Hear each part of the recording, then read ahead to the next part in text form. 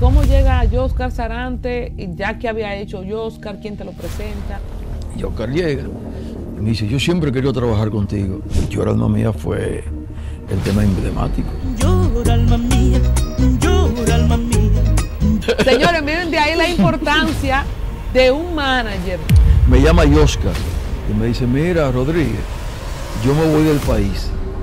Porque cuando tú me firmaste, yo no pasaba hambre y mi familia está pasando hambre. Ya para esa época estoy cobrando 75, 80 mil pesos, oh, que era la suma totalmente. ¿Y Oscar no cambió? ¿No se le fueron los sumos a la cabeza? De que a él le decía su esposa, eso es mucho dinero para Rodríguez, como quien dice, este dinero se puede quedar en casa. Tú me das 6 millones de pesos por lo que le queda el contrato y te me vas de mi oficina. Y yo vuelvo a ver a Oscar en la funeraria.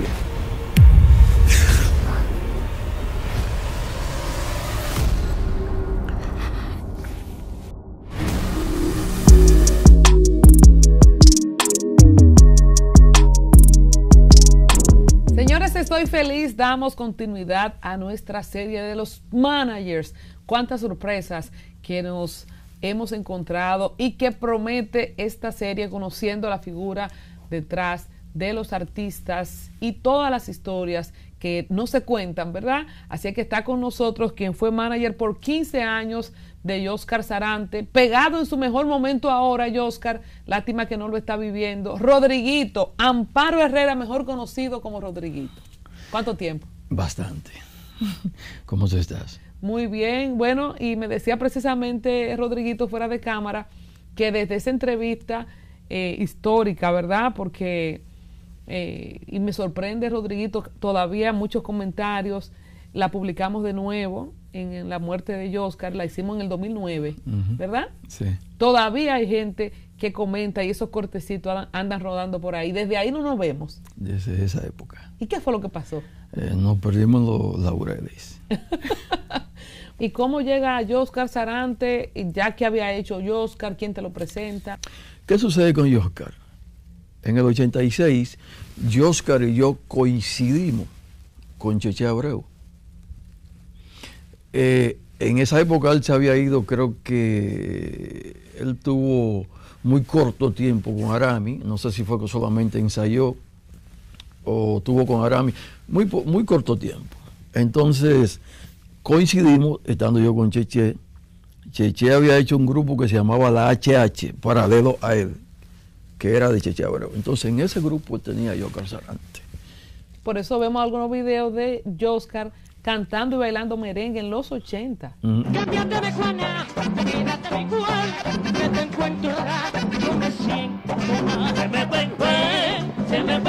No, porque antes de eso él tuvo con, con Tomás Barrera. Fue su primer grupo, él tenía como 14 o 15 años. El primer grupo de merengue con con el que él está. Y cuando ustedes coinciden ahí, se conocieron y tal. Sí, nos conocimos bien. Al tiempo, eh, Milton Lora, que hoy es manager del gringo y fue manager de Luis Miguel también. Milton Lora va a mi oficina. Yo tenía la oficina en la San Martín y me dice, van él y Oscar, los dos. Ya yo con el proyecto de ayudante a la madre. Y me dicen que que ellos quieren trabajar conmigo. Entonces yo dije, mira, yo tengo un proyecto y hasta que yo, yo acabo casi recientemente de venir a Nueva York y estoy reformando este grupo de nuevo. Entonces cuando yo este grupo lo encamine, nosotros nos podemos empatar a trabajar. Bueno, está bien, no hay problema. Bueno, en eso, en ese tiempo no se dio. Eh, pero ya Oscar eh, la primera vez que grabó bachata fue con Freddy Peña Pastor, que fue antes de mí. Entonces Freddy Peña Pastor es quien lleva a Oscar a la compañía JN. Entonces, Papi Aponte, un hermano de Rubén Darío Aponte, y el difunto Chichi Aponte. tenía eh, Rubén representaba a Juan y aquí en términos legales. En la oficina, Chichi y Papi Aponte trabajan con Rubén. Entonces papi era quien siempre le decía a, Nelson, de hablaba de Oscar. Mira, él le decía, le tenía un, apodo a Oscar, habichuelita le decía. No, no, habichuelita o guandulito, algo así. Yo creo que tú lo escuches, Nelson, era un cantantazo, escucha, don Nelson. Bueno, hasta que un día Nelson lo escuchó y Nelson se sorprendió con la enorme voz de Oscar.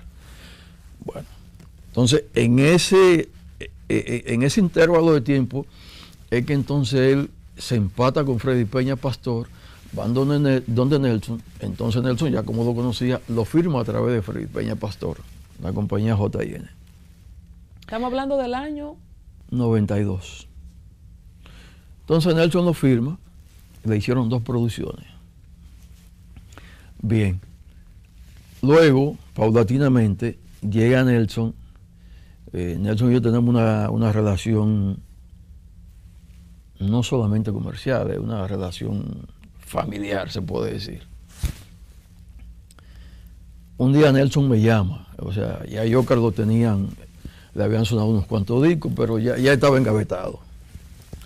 Un día Nelson me llama 99, me dice, Rodríguez, ¿dónde tú estás? Digo, estoy por aquí, por el conde. Me dice, ven a la oficina que vamos a hablar algo. Tú sabes que ellos eran los dueños de Enca y ahí era donde tenían la oficina alojada de JN. Cogemos por allá y me dice, vamos para la finca. Cogemos para la finca de él. Me dice, Rodríguez, yo te quiero entregar a Alex Bueno. Y yo le dije, Nelson, no, Alex Bueno no. Me voy a poner calvo antes del tiempo. Tú sabes que eran los momentos de esa organización que llevaba Alex. Y le dije, no, Nelson. Alex, bueno, no, yo no, no, me voy a poner viejo antes del tiempo o calvo antes del tiempo. Pero te podemos entregar a Frank Reyes como promotor. Víctor Reyes era quien era socio de JN en una compañía en J, JBN, que JBN era la división del área de bachata. ¿verdad? Como ellos tenían tanto merengue, acuérdate que tenían Eddie Herrera, Quinito, bueno. Y entonces Víctor manejaba el área de la bachata. Eh, me dice, voy a hablar con Víctor para que te pongamos a trabajar como promotor de Fran Reyes. Y yo le dije a Nelson, Nelson, tú tienes el mejor cantante de tu compañía engavetado. Estamos dando el 99. Y Nelson me mira y me dice, el prabuito. Ahí le decían el prabú. Digo, sí. Ah, pero es que Víctor me dice que él no vende. Nos gastamos unos cuartos con él, nos gastamos casi un millón de pesos. Para esa época un millón de pesos era un dineral. Y no pasó nada. Y me dijo, yo tengo algo mejor con él. Yo quiero hacerle una producción de cover. Cuando eso no se, utilizaba la palabra cover, se decía fusilamiento era. Yo quiero grabar el tema de Panchito Ricé, de José José, de Toña la Negra, esos boleros traídos a bachata. Y yo le dije, bueno, tú podrás vender como diquero, qué sé yo, 15, 20 mil copias, pero él no despega como artista con, con esos fusilamientos. Eh, me dice, bueno, así es que yo lo quiero hacer. De hecho, ya yo hablé con Martínez el año pasado para eso. Reúnete con él. Me dice, mire, en la gaveta hay un CD. Abro la gaveta y ponemos la gaveta. Eso es en el trayecto de ir a la finca de él. Bueno, digo, oye, qué voz tiene ese, ese cantante. Y engavetado ahí. Me dice, reúnete con él. Vamos a ver lo que hacemos. Cuando salimos de la finca. ¿Y qué canciones había en ese CD que ya previamente le había hecho Juan y Nelson? Dos en uno. Dos en uno que se llama, creo que así que se llama la canción.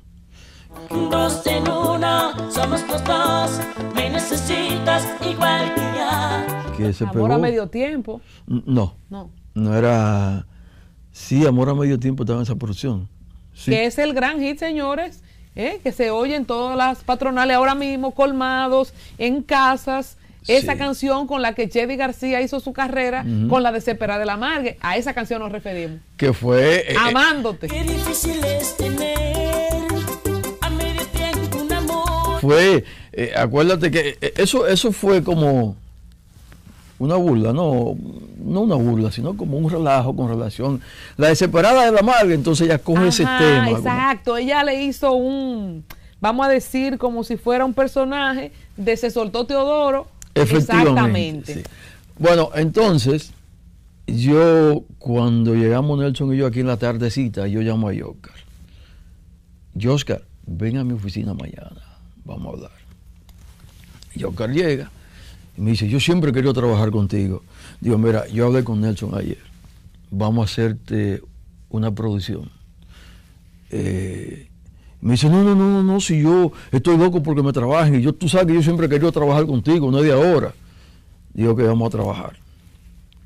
Me acuerdo yo, me dice Oscar, mira, eh, la lucha de intereses divide.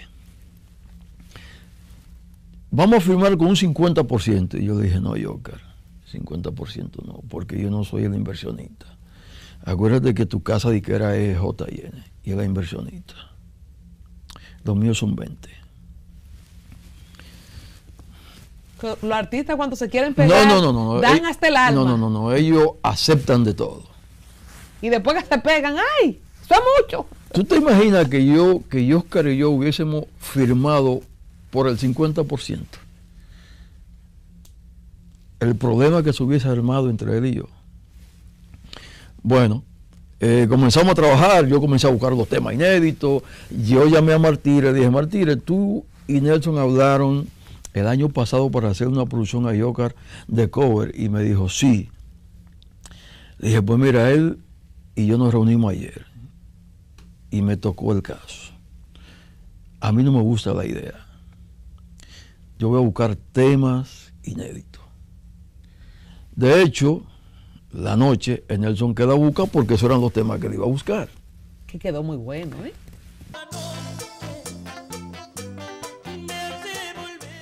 Magistral. Un arreglo musical increíble, una interpretación magnífica de Rodriguito, Oscar. hay gente que dice que Oscar es la mejor voz de intérprete alguno, no solamente de bachata. Y haciendo un paréntesis, ¿qué categoría, qué calificación tú le das al rango de Oscar? No, porque Oscar no era bachatero. Oscar era intérprete. Oscar no era un bachatero encasillado. Oscar era un intérprete. De hecho, recuerda, en esa época se usaba de grabar y decir, saludos en Nueva York. Allá en Nueva tal". York, tacá, tacaracá. Sí, sí. Eso decía Blas Durán. Sí, no, no, y todo, no Blas nada más, la mayoría todo. Pero saludos Anthony Nueva Santos, York. Raulín y todo. Eh, yo vengo con una vertiente diferente.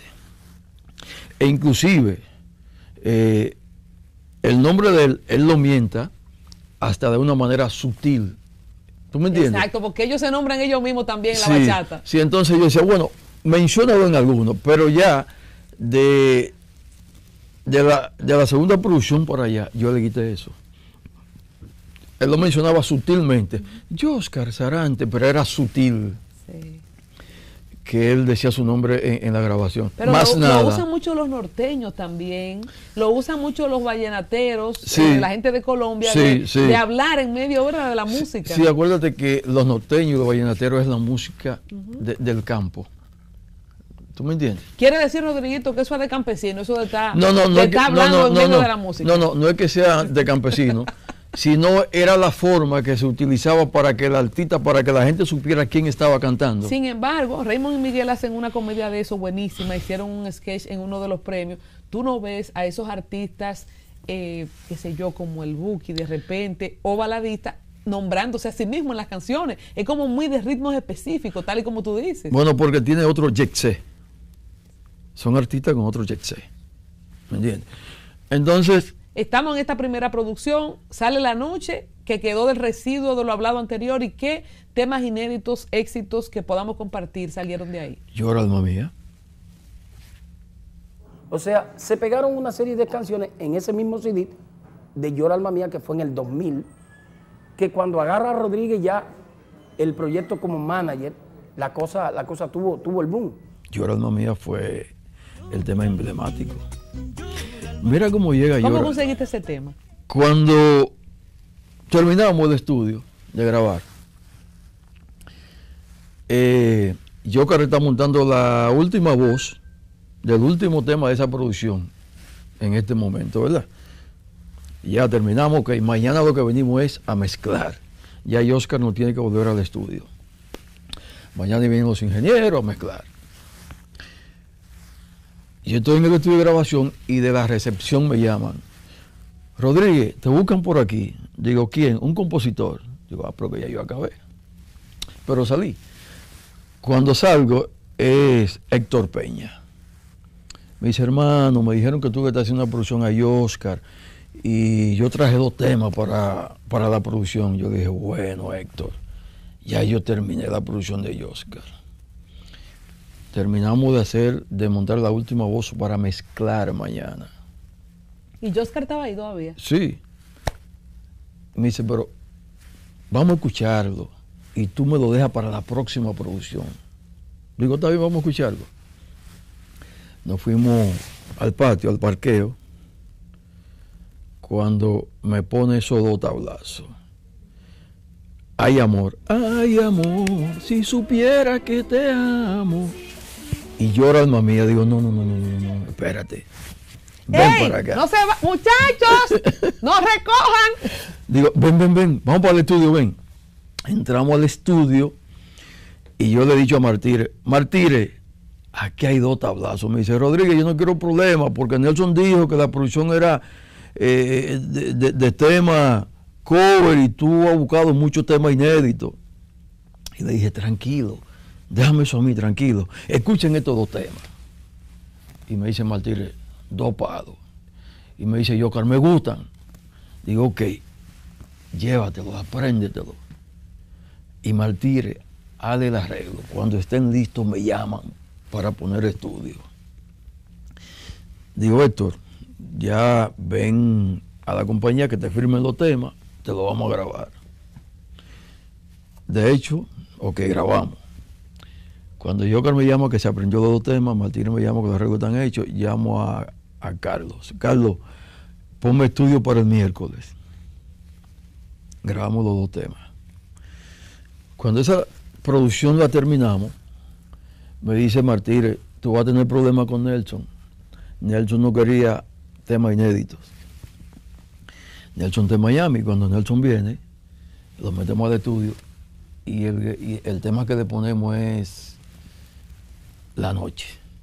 Como ese tema quedó con ese arreglo tan magistral y esa interpretación envidiable, eh, Nelson se puso nervioso. ¡Wow, wow, wow, wow, wow! Esto sí está bueno.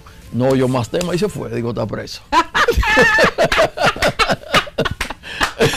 Señores, miren de ahí la importancia de un manager, de un manejador, que no es lo mismo que un muchacho demandado de un artista. Cuando una gente tiene criterio, sabe negociar y sabe manejar la situación. Está preso ahí. Sí.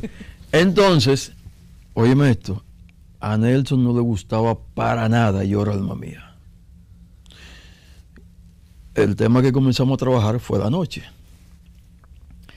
que surtió sus efectos, pero no como Llora alma mía. Bueno, una noche, pero Joker no, no tenía ese, no había pegado. Me llama Nelson, eh, estamos hablando como tres o cuatro meses más tarde. Me dice, mira, me llama Oscar. Y me dice, mira, Rodríguez, yo me voy del país. Digo, ¿cómo que te vas del país? Sí, yo me voy del país. ¿Tú sabes por qué? Porque cuando tú me firmaste, yo no pasaba hambre y mi familia está pasando hambre. Y yo le dije, si te va, yo te pongo impedimento de salida, porque tú tienes un contrato conmigo firmado. Entonces me dice, pues me voy a trabajar a doñidería. Vete a trabajar a doñidería. Porque cuando yo firmé Yocal, Yocal trabajaba, eh, eh, tocaba en los carguas. En esa época se, le, pagaban 4 o 5 mil pesos. Él pagaba los músicos y le quedaba lo de él comer. Bien. Yo le dije, mira, yo no hice un proyecto para comer. Yo hice un proyecto para yo destacar tu figura, hacerte una figura y que tú tengas otra posición. Pero yo no hice un proyecto para comer. Yo he comido mucho y también he pasado mucha hambre. Bueno, pues voy a trabajar en bañilería, vete. Y se fue a trabajar en bañilería. Se fue a pegar, ¿cómo se llama? Eh, Piso. sí, pero lo otro, eh, losa, losa, los pisos. Pisos, sí, bueno. Cerámica. Con un amigo de él que estaba por Romano Guayabo. Eh, un amigo cantante, precisamente también. Que él pegaba eh, eh, eh, cerámica. Se lo llevó a trabajar para allá. Rodriguito, porque, y recordemos esto, que antes de este proyecto de bachata, Oscar había sido vocalista de las bandas que mencionamos anteriormente. Dígase que, y por eso vemos algunos artistas que dicen que cogen aceite y todo eso, porque se pasa mucho trabajo. O sea, él se tuvo que ir a pegar losa después de todo eso, sí. en los 90. Sí. ¿Estamos hablando de qué año? No, en el 99 fue él cuando está firmado conmigo. Casi en el 2000. Sí, cuando le hicimos la producción, que comenzó a, a- a- comenzamos a promover la noche. Me dice, pues está bien, me voy a trabajar en bañilería. Nelson me llama, te estoy hablando cinco minutos más tarde, me llama Nelson. Me dice, mira, yo no invierto un peso más. Mira, a ver lo que tú vas a hacer. Si tú quieres, ven a trabajar para la compañía. Pero yo no invierto un peso más. Óyeme, me llama el artista me dice eso, entonces me llama Nelson y- y entonces ahí como que me pongo un poco cabizbajo. Le digo, Nelson, por favor, necesito hablar contigo personal, pero en tu oficina, tú y yo solo. Podemos juntarnos a las 5 de la tarde en tu oficina para que hablemos. Ok, nos juntamos a las 5 en la oficina. Cojo para allá a las 5 que ya no hay nadie. El personal entero se ha ido y estamos él yo solos en su oficina. Hasta convencerlo que el tema era Llora alma mía. Y a él no le gustaba para nada.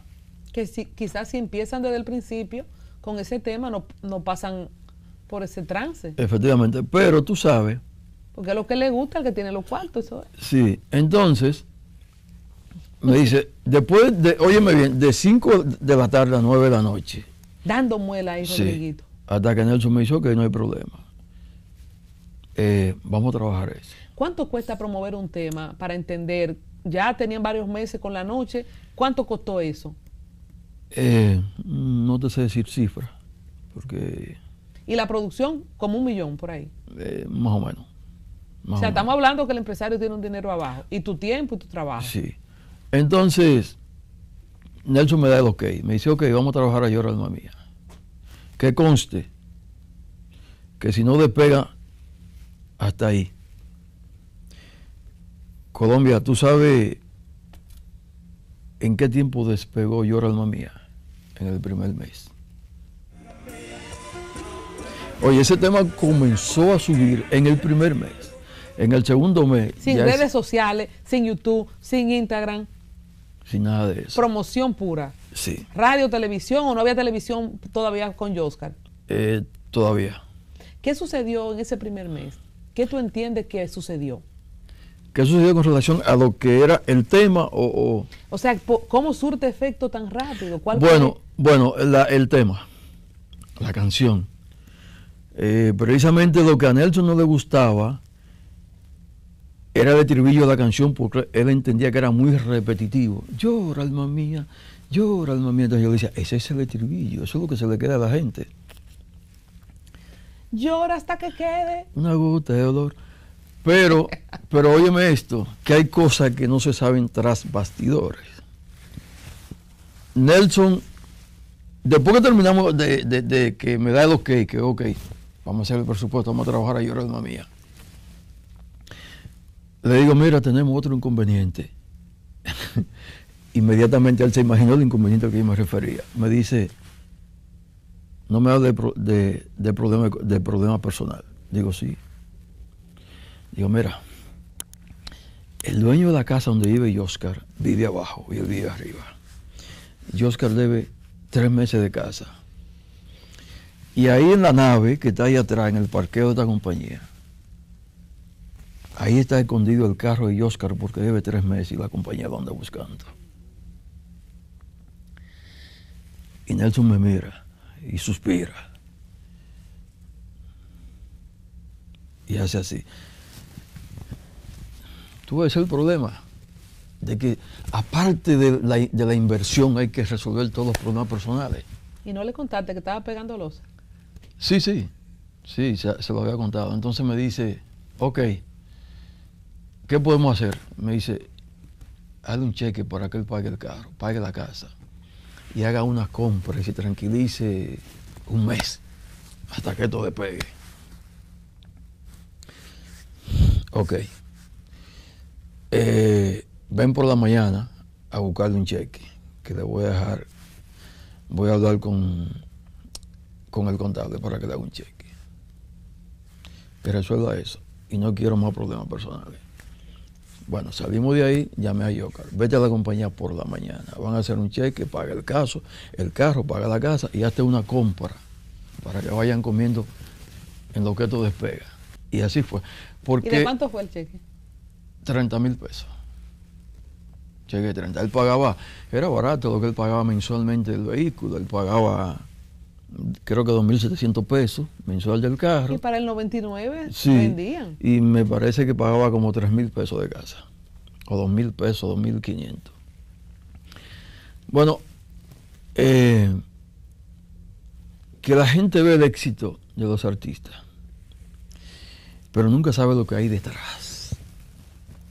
La mochila que tú cargas en la espalda, detrás. ¿Tú me entiendes? Entonces, mucha gente dice, este, cuando Joker se pega, tenía muchos francotiradores atrás. ¿Por qué?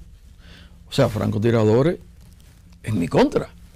No, no, no, no. Eh, cuando comienza, sobre todo, con, eh, eh, esa, esa pegada. A pesar de la gran voz, ¿por qué esos francotiradores? ¿Qué se podía decir? No, no, francotiradores, cuando digo francotiradores, era gente por, oscu- por- perdón, por ocupar mi puesto. Ok, ya entiendo. Después que el producto estaba listo, que se estaba vendiendo, entonces vamos. O sea, corrección, no los francotiradores eran de Joker, sino francotiradores Ah, ti. a mí. ¿Me entiendes? Eh, pero eso fue una, eso fue una odisea. Y entonces, eh, hablemos de esa odisea. Tú estabas contratado por la disquera, el producto era tuyo porque lo firmaste. Cuando hablas de la odisea, eh, ¿qué, ¿qué tanta aquiescencia se le dio a esas personas que querían ocupar tu puesto? ¿no? Porque realmente Joker nunca, nunca le dio importancia a nada de eso. Él sí me lo decía. Eh, nosotros fuimos una vez a un lugar, me voy a, reservar el nombre, y estábamos, estábamos en Miami, y había una persona, llegamos nosotros a un restaurante a, a almorzar, él y yo, y la persona se le acercó y le dijo, cualquier cosa estoy a tu disposición. Una falta de respeto. Él llega con su manager. Eh, de la misma forma en que tú creíste en un artista, yo creí en ese. ¿Tú me entiendes? Entonces, este, en tu cara. casi en mi- no, o sea, eh, eh, a una distancia de unos cuantos metros. Pero cuando Joker se sienta, me dice, oye fulano lo que me dice. Este negocio es así. ¿Cómo fueron esos primeros meses eh, después de Llora Alma Mía que vino? Yo recuerdo, no solo en el especial que le hicimos a Oscar, sino también cuando lo entrevistamos en el escándalo, que él había ido a Finlandia, a no sé dónde, donde la bachata nunca había llegado. Hablemos de las estrategias que siguieron en unos casi 15 años o más de 15 años que ustedes estuvieron trabajando juntos. Mira, nosotros fuimos fuimos a Sicilia, eso en Italia. Sicilia es una isla muy conocida eh, universalmente por, por- por la historia de Sicilia. Eh, fuimos a Finlandia, nos presentamos en una sala que ha sido eh, bueno, hasta ese momento, estamos hablando del 2005 o 2006, hasta ese momento ese teatro en el que nosotros fuimos, Oscar había sido el único latino que había ido.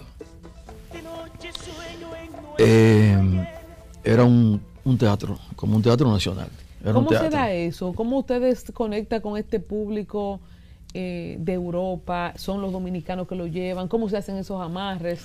Eh, ahora sabemos que por el internet las cosas viajan. ¿Cómo fue para ti? Hay un, un señor llamado Besa Parkari, eh, de Finlandia, un finlandés. Él ya tiene la jerga de un dominicano cualquiera, porque viene mucho, viaja constantemente a este país. De hecho, él tiene una escuela de baile de bachata en- y de salsa. Él vino aquí y se llevó, hizo un, como un censo. Eh, y se llevó allá los discos de Oscar, de Forán, de Anthony Santos, Luis Vargas, de todo. Entonces, en la escuela de baile que él tiene allá, comenzó a preguntarle a cada uno, eh, le puso los discos, ¿a quién traigo? Entonces todo el mundo, una sola voz, se interesó por Oscar para que lo, lo llevara de gira. Bueno, entonces me llamó. Eh, Finlandia tiene, en esa época habían 26 latinos. Y de los 26 latinos habían dos dominicanos.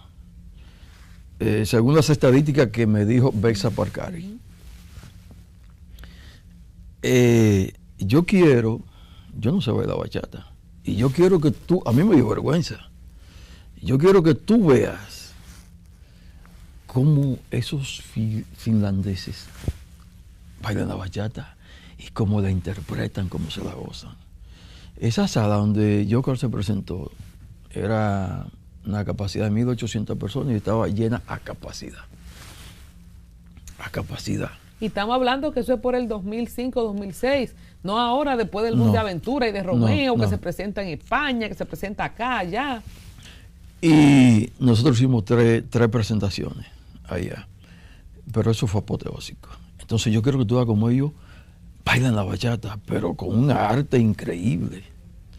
Rodriguito, ¿tú crees eh, o, o cómo viviste tú la experiencia de Oscar? ¿Fue reconocido eh, por su país? Creo que al final no se llevó nunca un Cassandra, ¿verdad? Para la época. ¿Qué pasó además de todas esas pegadas que él no llegó a conquistar quizás el reconocimiento de la crítica organizada? Fue maltratado. ¿Por qué? Mira, eh, todo apuntaba, la flecha se dirigía hacia Oscar Sarante en ese momento cuando los premios Casandra. Tengo informaciones, tengo informaciones, yo no te lo puedo asegurar. Eh, cuando estamos en el Casandra, que dicen, bueno, los nominados son, y la cámara todas estaban hacia donde Oscar. Y el ganador es Fran Reyes. Alguien me dijo, o sea, no estoy acusando a nadie, no sé si son voz populi o qué. Alguien dijo que, que esa estatuilla estaba grabada para Oscar y que todo, supuestamente, vuelvo y digo, y que todo se hizo ese mismo día en la tarde y se cambiaron los papeles. ¿Me entiendes? Tú personalmente como manager has tenido relaciones cercanas con los cronistas de Acroarte, Sí, tú con no, todo. o es que tú no le das importancia a eso porque que hay que pagar relaciones públicas. O sea, ¿cuál es la verdad de esto? Que yo en el especial empezó a citarme todos los temas éxitos que él había hecho. Mira, a veces yo digo que no me duele, pero si, si, si sigo diciendo así, soy un falsante. A cualquiera eh, quisiera tener una estatuilla, porque uno, eh, el que tiene una estatuilla, eh, sabe todo el mundo que se destaca. Pero el dolor mío es que saben que yo he pegado temas éxito tras éxito, que cuando me paro en un escenario la gente no me deja, no me deja bajar, porque lo quiere todos los discos, todo. Yo soy uno. ¿Para qué año estamos hablando de esa, en esa ocasión? En los premios Casandra del año... Eso fue do- 1900 2001. 2001, exacto, que estaba pegado con la producción que Llora alma mía. y Llora alma mía. ¿Qué tú crees que le faltó o no faltó nada o es un asunto de tu power, del power de la organización, dígase del manager, del disquero, específicamente con los cronistas? No, no, no, mira, mira. En ese momento aquí no había nadie por encima de Oscar Sarante. Estoy hablando sin apasionamiento. Aquí no había nadie, en el momento de Llora Alma Mía, no había nadie por encima de Oscar Sarante. Nadie. Dígase Anthony Santos, dígase Fran Reyes, dígase quien, cualquiera. No había nadie en ese momento por encima de Oscar. Pero eh, son cosas que yo no me voy a tomar atribuciones para imaginarme cosas o decir cosas que... Pero tú te llevabas bien, no era un asunto de manejo. No, no, no, no. no Con la no, gente de no, no, La gente de la prensa, magnífico con todo. La verdad, y hay que decirlo, que a pesar de, de ese gran momento que tuvo Oscar, eh, la bachata estaba muy fuerte, 99, 2000, 2001, 2012, había mucha competencia también. Demasiada, demasiada. Eh, ¿Qué otros temas? Yo no sé si este tema, que debo hacer una confesión, saludo para mi amiga y hermana Marcela Espinal, no te detengas, es el tema con la que yo engancho con la bachata. Ese es el tema con, la que yo, em, con el que yo empiezo a escuchar bachata. Mira, Llora Alma Mía es el tema punta de danza. Es el tema que, que rompe el hielo. No te detengas. Es el tema que pone a vender discográficamente la producción. En esa misma producción también. Sí, en esa misma producción. Paco Le me llama cuando yo estoy haciendo la producción. Eh, Paco y yo tenemos una relación de muchos años, porque yo era manager del grupo Tambor y Paco era parte del grupo Tambor también. Ese era el que yo quería decir ahorita, Tambo. Tambor. Entonces, Paco me llama y me dice, Rodríguez, eh, bueno, de hecho hay un, hay un tema de, de Paco en, en esa producción. Eh, yo tengo un, un CD aquí, y no era un era un cassette, de, un, uno, un- de unos vallenatos. Cuando tú vengas a buscar el tema que yo te voy a dar, te lo voy a mostrar. El número 3 de ese cassette es un palo. Bueno, yo voy a buscarlo. Un jueves santo, me acuerdo yo. Voy a Herrera, a la casa de Pacole. Él me da el tema que yo lo voy a grabar y me da el cassette. Vengo y me siento en la oficina, solo a escucharlo. Eh, a escuchar eso de Pacole y a escuchar unos cuantos temas más. Y yo estuve en la oficina esa noche como hasta las 10 de la noche. Cuando pongo el tema que hice Paco Le, sigo buscando, llego al número 6, encuentro No te detenga. Digo, wow, qué palo. Esto es un palo. Y llamé a Paco Le. Digo, Paco Le, el tema que tú me dices, el número 3 no es, es el número 6. Me dice, no, ¿tú crees? Digo, sí, el número 6 se llama No te detenga. Bueno, yo me podré equivocar, pero bueno, tú sabes de eso. Digo, no, no te detengas, se llama el tema. Ese es el palo de, de ahí. Entonces ese fue el tema que yo elegí. No te detengas. Después de promover... eh, No, no, no, no, no habíamos hecho la producción. Estamos en el proceso de No, la pero digo todavía. yo, después que tú promueves eh, Llora Alma Mía, entonces promueve ese. Sí, Y quiero irme a esto, Rodriguito, después de estar, eh, ¿verdad? Que no habíamos pagado la casa, el carro, y tú también tienes tus propias situaciones, me imagino. sí. ¿Cuándo, qué tan rápido cambia la cosa económicamente? ¿Cómo empiezan las contrataciones de, del car wash de 3 mil pesos? ¿Ya cuánto empieza a cobrar Oscar? No, ya, ya para esa época estoy cobrando 75, 80 mil pesos. Oh, que era la suma para esa época. Pero fue meteórico el ascenso. Claro, totalmente. Y Oscar no cambió, no se le fueron los humos a la cabeza. Sí. Es que era muy drástico. eh. O sea, cualquiera puede. Sí, pero De no tener con qué pagar la casa, ganar 100 mil pesos por una presentación. si él, todos tienen ese cambio, producto de, de la circunstancia y de y del extracto social de donde vienen. eh, recuerda que nuestros artistas muy poco se preocupan por retroalimentar esta parte. Y cuando esta parte queda desamueblada, se te hace difícil asimilar el éxito y tú seguir con humildad. Es muy difícil. Entonces, no es un, no es un problema personalizado Oscar, no, es la clase. Son muy pocos de nuestros artistas los que no caen en ese vacío. Producto de lo que te estoy diciendo. Cuando la entrevista del especial, Oscar andaba manejando, o, o llegó, no estaba manejando, en una Homer. Sea, eso era lo último de los muñequitos en De ese ese tiempo. ¿Cuáles son las primeras cosas que se compra Oscar después de la, de la pegada? Bueno, lo primero que él se compra, cuando él ya comienza a pegarse, ya está. Él, él vivía en la casita de Herrera todavía. Un día me llama a la oficina y me dice, eh, no, yo lo llamo y le digo, Oscar, tiene que mudarte, pero ya. Y me dijo, Rodríguez, yo me quiero mudar para una casa propia. No quiero mudarme alquilado. Yo le dije, ok me dice, ¿tú crees que puede hablar con la compañía para que me faciliten un dinero como préstamo? Digo, sí, no hay problema. Le dije a, a Nelson, llamo a Nelson y digo, mira Nelson, ya a Oscar hay que sacar donde vive. Por cierto, ¿cómo le quedó el ojo a Nelson? ¿Eh? ¿Eh? Le quedó bien. Eh, me dice Nelson, sí, tiene que, salir de ahí ya, pero ya. Digo, mira, él no quiere irse a alquilar una casa ni un apartamento, él quiere irse para una casa propia. ¿Y qué necesita él? Eh, digo, él necesita 300 mil pesos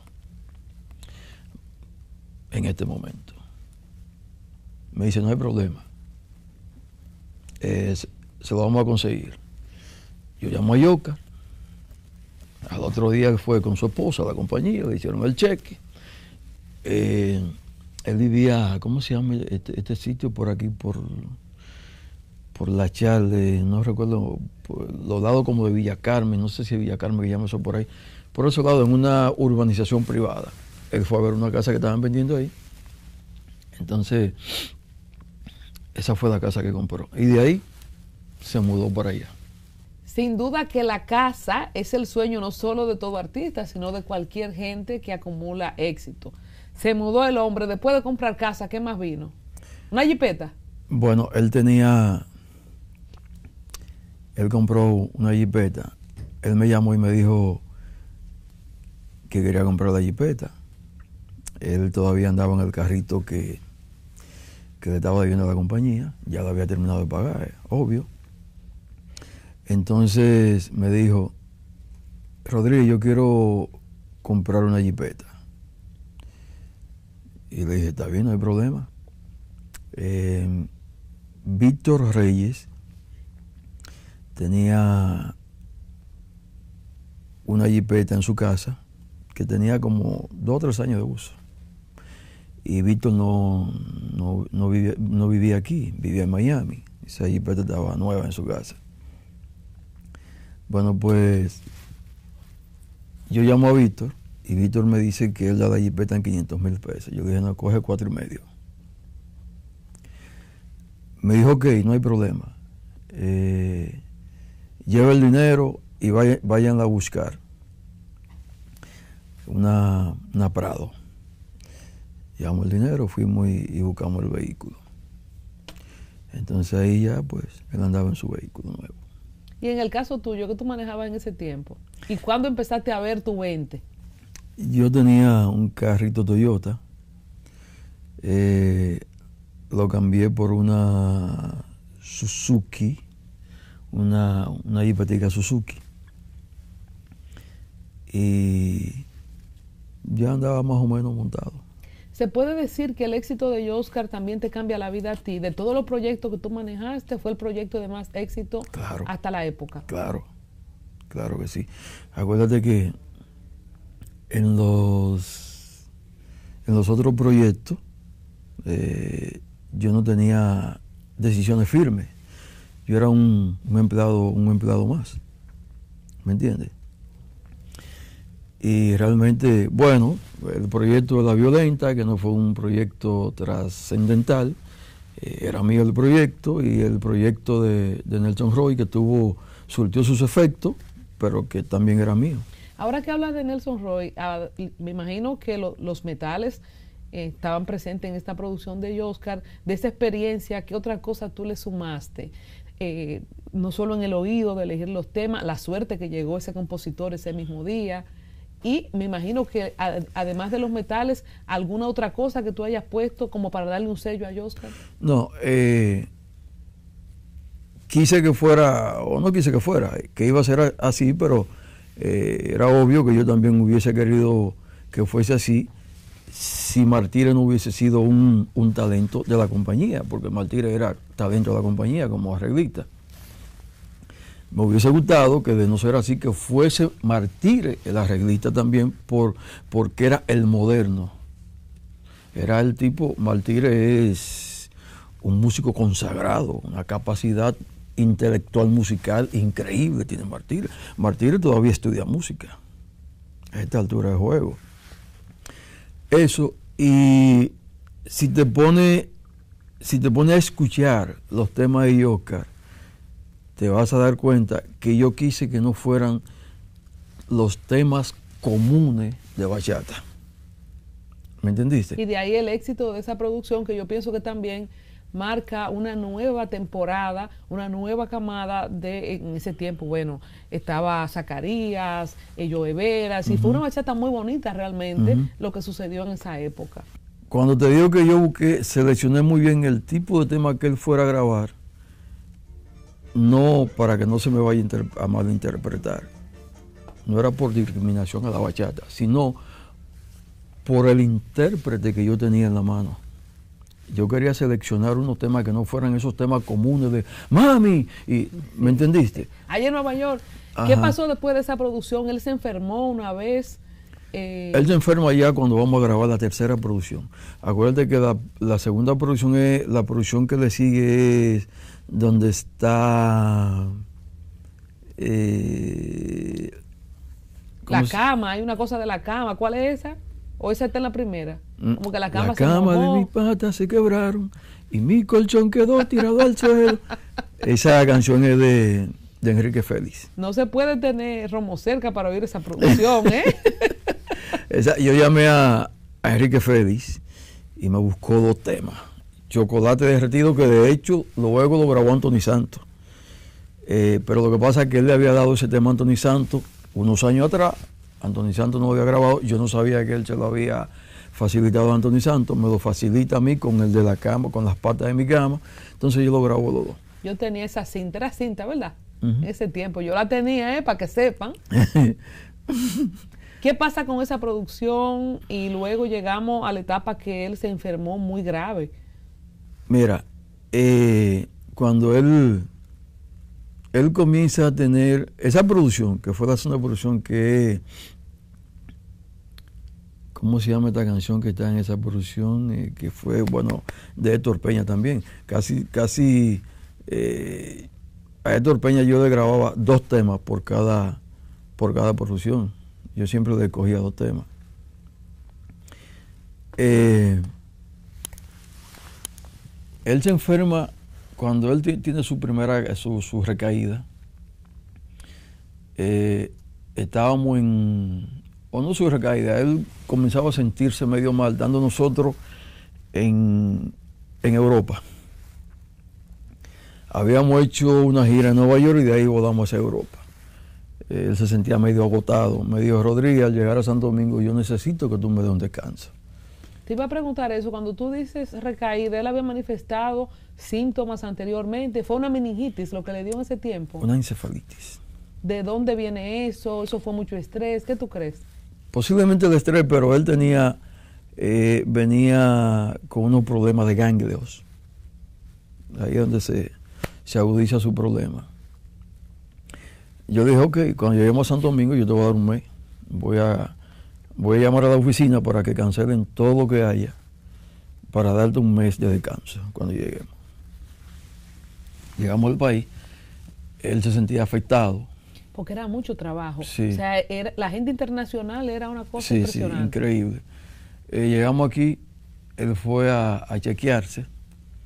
Entonces ahí es cuando le, le dicen que él tiene problemas con los ganglios. Se hace unos chequeos, la- se rumoraba que era cáncer. Mucha gente llegó a cuestionar de que, de que era SIDA.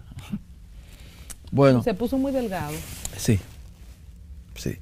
Él fue desmejorando, fue desmejorando. Bueno, entonces siempre tenía un dolor de cabeza muy fuerte. Un domingo me llama Daniel, su hermano. Me dice, Rodríguez, Joscar, eh, Joscar está muy mal. Un dolor de cabeza de anoche que no se le ha quitado. Su, su esposa me llamó y digo, ok, miren, vamos a juntar en la clínica Alcántara, salgan con él. Y nos juntamos ahí en esa clínica. Fuimos a la clínica, eh, estuvimos el día entero ahí, y ahí los refirieron para otro lugar que había que hacerle una resonancia magnética y la persona que tenía que hacer la resonancia magnética en esa clínica no, no estaba y fuimos a otra clínica. Ahí se hizo la resonancia magnética sigue empeorando.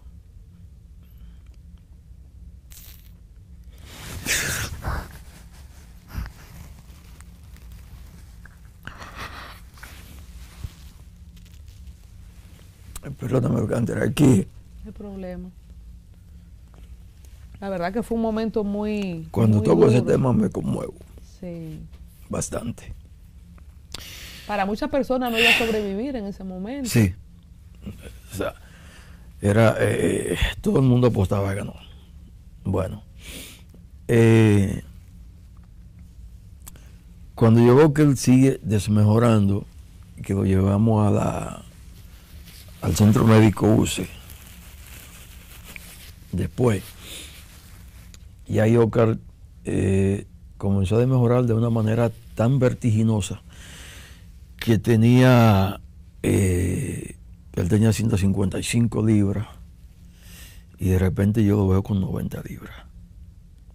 Y no se sabía lo que era. Cuando a la- al hospital me dice, le digo al médico, eh, el médico me dice, mira, hay que hacerle un- unos exámenes rigurosos. Comienzan a hacer los, los- los análisis, bueno.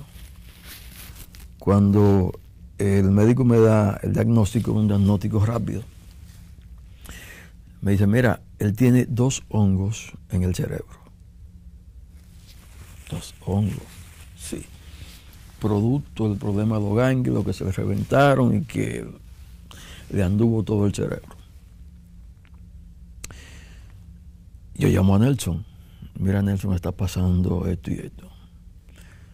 Me dice, pero habla con el doctor a ver si ese problema se resuelve aquí.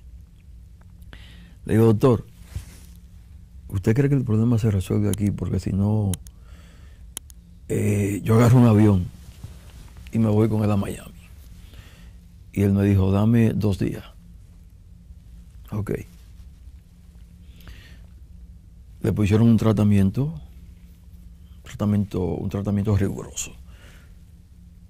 A los dos días me dice, mira, hay uno de los hongos que comenzó a ceder. Si siguen cediendo, ya no hay que sacarlo de aquí. Digo, ok. Bueno, le pusieron ese tratamiento, comenzaron a bajar los hongos. Pero yo lo veía cada vez tan demejorado, gastado casi en la cama, con 90 libras. Eh, Quedó como un vegetal, me dijo él en ese al momento. principio sí, No se, no se podía mover. no. Qué terrible. Sí, entonces eh, yo realmente eh, tenía que verlo por obligación, pero me conmovía. ¿Y cómo te aguantaba? ¿Cómo te eh, para ser fuerte porque tú eras una tú eras un pilar para él? Sí, yo hice todo lo necesario para soportar, para aguantar esa, esa conmoción. A veces se me salían las lágrimas, no quería que él me viera. Y volvía, me sentaba en una salita de espera que había en, en la clínica antes de, entrar a, a- a la, salita, a la sala de donde él estaba interno. ¿De qué año estamos hablando? ¿2008? No. Eso fue como el 2000, 2004, 2005. Eso fue en... O sea, eh, Rodriguito, que la pegada no la pudieron disfrutar mucho porque prácticamente en el 2000 se pega, ¿verdad? Y ya en el 2004 está grave. Entonces, eh, yo trataba como de, de aguantarme lo más que podía, pero eh, siempre la, la conmoción me, me- me traicionaba. ¿Tuviste algún momento de, de- de reclamo de por qué? Como, wow, todo está yendo bien, esto inesperado. ¿Cómo, cómo lo manejaste tú? Sí, sí. Hubo un momento de, de cuestionamiento. Yo decía, pero Dios, ¿por qué? Un muchacho sano también. ¿Me entiendes? Hubo un momento de cuestionamiento, sí. Le pido perdón a Dios, pero sí. ¿Cuánto tiempo pasó en lo que él se recuperó? Cuando le dieron de alta, el médico me dijo, contraten una enfermera de cabecera para que lo atienda en su casa. De hecho, le, le compramos una, una cama de hospital y o se le alquiló, creo que fue, se le, se le alquiló esa cama. Todos esos gastos, ¿había con qué soportarlo? ¿La Sí, diquera ayudó? La diquera, todo, todo la diquera. O sea, la diquera me dijo, eh, por dinero no te pares. O sea, hubo un respaldo extraordinario por parte de la diquera. Fuera de arriba abajo. comercial, ¿verdad? Sí, totalmente.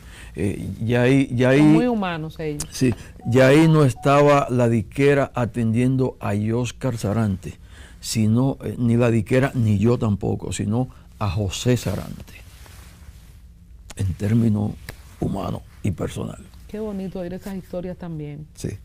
Porque a veces, ¿verdad? Esas grandes corporaciones nada más ven los numeritos. No. ¿Pasó cuánto tiempo hasta que puede ser productivo de nuevo? ¿Y qué cosas graba luego?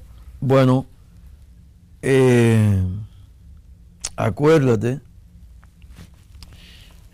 que en el proceso de la enfermedad, que comenzamos a hacer la tercera producción, él no podía montar las voces. No podía. Entonces estábamos en el estudio, bueno, vamos a, cancel- vamos cancelar. No puede. Llega el tema de, de Charles Aznavour, viví. Eh, me llama Martínez y me dice Rodríguez, o mejor dicho, había la contable que trabajaba en la compañía, le dice a, a Nelson, ¿y por qué no graban un tema que se llama Viví de, de Charles Aznavour? Eso lo hablaron entonces Nelson, me dice, oh, pero mira, está muy bien la idea. Nelson llama a Martínez. Eh, yo estoy ajeno al tema. Martínez me llama y me dice, Rodríguez, vete, consigue el tema Viví, donde está la producción Viví de Charles, eh, de Charles. Yo bajé a la Duarte, compré un, un cassette y ahí estaba el tema. Y me puse a escuchar el tema en la oficina, le digo, mira, el tema, como que el tema se relacionaba para lo que estaba pasando con él en el momento. Y dije, sí, muy bueno este tema. Y llamo a Nelson, me dice, vamos a grabarlo. Bueno, a él no le gusta el tema, a Oscar. Por la identificación que hay con lo que está pasando con él. Él no le gusta el tema, él no quiere grabar el tema. Bueno, yo dije, bueno, Martínez, déjame buscar una voz eh, que me desmonte una voz guía para entusiasmarlo a él. Digo, háblate con Daniel Monción.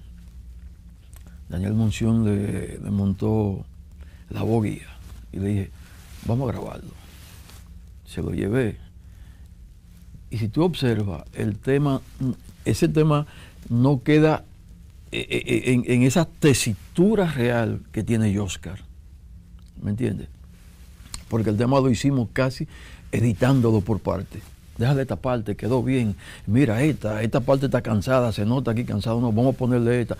Lo editamos y así fue que terminamos de grabar el tema Vivi. ¿Cuándo recupera la voz? Porque ya lo- tenía su voz. eh, para el tiempo yo lo entrevisté, de hecho, estaba gordo y estaba totalmente recuperado.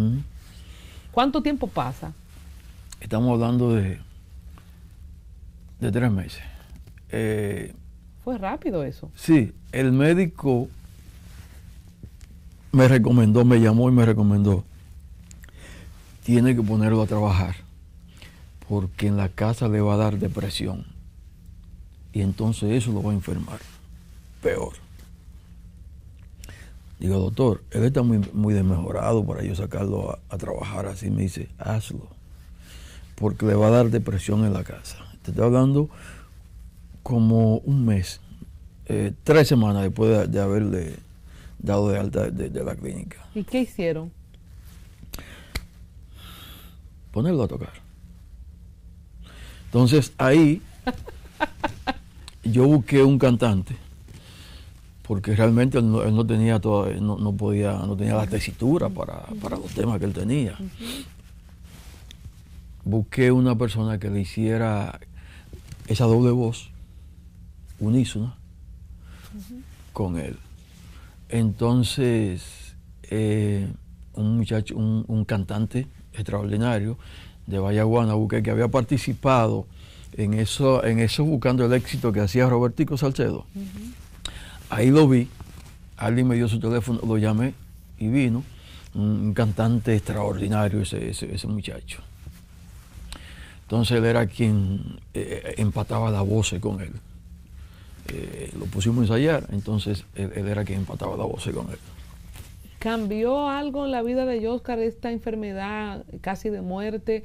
Me acuerdo que él habló de un llamado, o se dijo que él se convirtió evangélico, que Dios le hizo un llamado. ¿Qué, qué pasó ahí en la parte ya del ser humano? Mira, hubo, hubo un cambio realmente en esa parte, pero fue, yo no diría que de un largo tiempo, Fue momentáneo. fue momentáneo, producto de, del susto, ¿me entiendes? Él tiene ese susto y entonces cae ahí. Mira, y Oscar hubo unos evangélicos que le fueron a predicar. Esta parte no sé si va a tocarla, pero la voy a tocar. Porque parte, yo creo, es parte de lo que es la vida de él. Esos cristianos que le predicaron, él ya se convierte. Él iba a la oficina con su Biblia en la mano. Y yo un día me llama y me dice, mira, Rodríguez, digo, dime, necesito dos millones de pesos. Dos millones de pesos, pero tú lo tienes. Sí, pero yo quiero, yo quiero conseguirlo. Digo, ¿qué tú vas a hacer con dos millones de pesos? Mira, la iglesia a la que yo pertenezco es alquilada. Le están pidiendo local a la gente o que compren. Y, y yo le dije, ¿y tu pastora quiere que tú busques el dinero? Sí, digo, oh, qué bien. Si tú quieres, búscalo por otra parte, pero vamos a buscar el dinero para que tú compres una iglesia. O sea, los pastores se están aprovechando de tu debilidad emocional en este momento con lo que te está pasando. Y eso fue recién con la enfermedad. Sí. Cuando él se convierte, que iba a la iglesia que se congregaba, y yo le dije, no. ¿Y cómo lo tomó él? Eh, él se sintió en ese momento un poco rezagado. Después al tiempo me dio la razón. Y me imagino que le habrán pedido que deje de cantar bachata, porque muchas veces hay gente que quiere que el artista, si se convirtió, no haga lo que está haciendo. Pasó esa presión y quizás por eso él no persistió, porque lo querían alejar de su música. Bueno, él me decía que en un momento determinado Dios le iba a hacer el llamado para retirarse. Siempre me decía. Pero nunca fue como un plan dejar de cantar. No. Eh, pero después volvió toda la normalidad. Después despertó. Despertó. Y eso se olvidó. se le pasó el susto y se le olvidó. Sí. ¿Tú crees que realmente él tenía un llamado? Eh, todos vamos a morir, ¿verdad? Pero... Eso fue un susto. Un susto que él sufrió. No. No creo que... Yo he escuchado gente, a propósito de que él enferma y finalmente eh, muere, ¿verdad? Joven, de que quizás él no atendió al llamado, que sí, que no sé qué. Pero además Oscar no era una persona de tener una vida desordenada. No. Esto fue una secuela de esa enfermedad. Yo sé que ustedes ya no estaban juntos, pero para, para cerrar esa parte, ¿qué es lo que sucede después? Mira, yo le había comunicado a sus manejadores. Cuando yo, cuando Oscar tiene esa enfermedad, yo hacía las giras a Estados Unidos y a Europa, a los países anglosajones, que la mayoría son fríos, yo las hacía en invierno, porque invierno eh, son las giras más fructíferas para los artistas que en verano en los países anglosajones. En ese momento yo cambié. Cambié la gira en vez de invierno para verano. Para cuidarlo. Para cuidarlo. Yo iba a Europa en verano, yo iba a Estados Unidos en verano. Y en cualquier época a los países de América Latina porque tienen el mismo clima que nosotros. Y yo le dije, no lo pueden llevar a los países anglosajones en invierno. Y yo sé por qué se lo estaba diciendo. Pero se descuidaron. Y Oscar en noviembre tuvo una recaída estando en, en Europa. Luego sale de Europa y llegan a Estados, a, a Estados Unidos a una gira. En pleno invierno también. Y en ese, en ese trance donde tiene creo su, su recaída. Y es de lo mismo, es algo relacionado del cerebro, ¿verdad? Pero que le había afectado los pulmones. Entonces, como yo sabía que tenía problemas con los pulmones, y los pulmones cuando tú tienes problemas con ellos no quieres saber nada, Pero Rodriguito, ¿qué enfermedad era esa? O sea, que fue un hongo por unos ganglios, pero no se diagnosticó si era un cáncer, si era algo congénito, ¿qué era? no, bueno, puede ser que a lo mejor fuese algo congénito. Pero Nunca hubo un diagnóstico claro. No, no, el diagnóstico claro que hubo fue que era producto de unos ganglios que a él se le reventaron. Y eso le, le caminó el- parte del cerebro.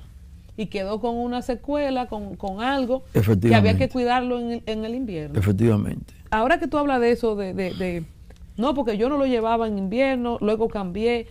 Estas cosas, estas decisiones que tienen que tomar los managers, eso no se estudia eh, y va con cada artista. ¿Qué cosas cambiaron en ti, en, la- en el negocio per se, después de la enfermedad de, de, de Oscar, además del- de, las giras? ¿Había cosas que tú tenías que tomar en cuenta del cuidado del artista? Sí, totalmente. Yo vivía eh, totalmente al pendiente con lo que eran sus medicamentos. Eh, por eso, esa fue una de las razones por la cual yo le dije, vamos a hacerle la visa a tu hermano Daniel, para que él tenga todo esto al pendiente. ¿Me entiendes? Eh, bueno, le hicimos la visa a Daniel, precisamente para cuando estuviésemos en esos viajes, Daniel estuviese pendiente de los medicamentos de Yoka. Y yo siempre vivía cuidadosamente con eso. Eh, él al verse ya, diríamos, él se vio totalmente sano, se descuidó él y su gente también.